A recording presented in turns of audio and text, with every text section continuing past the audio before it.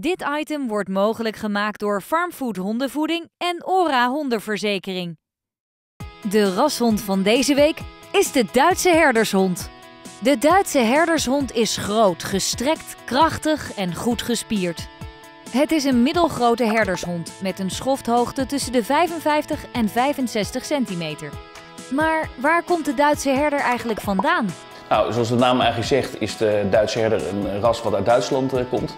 Uh, het was een herdershond van de schaapskudde, maar later werd het ook gebruikt als waak- en verdedigingshond, uh, bijvoorbeeld in het leger en bij de politie. Hmm, stoere hond dus. Wist je trouwens dat de Duitse herder de op één na populairste hond is in Nederland?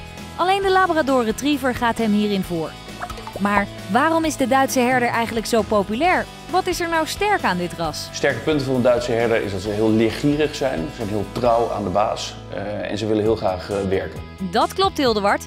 Kijk maar naar deze vriend. Hij blijft maar rennen. Maar waar moeten we nu rekening mee houden bij de Duitse herder? Wat we vaak bij de Duitse herder zien is dat de ruglijn een beetje afloopt. En uh, we zien gewoon binnen het ras veel rug, heup en knieproblemen. Oké, okay, duidelijk verhaal. Wil je nou meer weten over de Duitse herder? Kijk dan even op onze website. Daar vertellen we je nog veel meer over deze mooie hond. Dit item werd mogelijk gemaakt door Farmfood Hondenvoeding en Ora Hondenverzekering.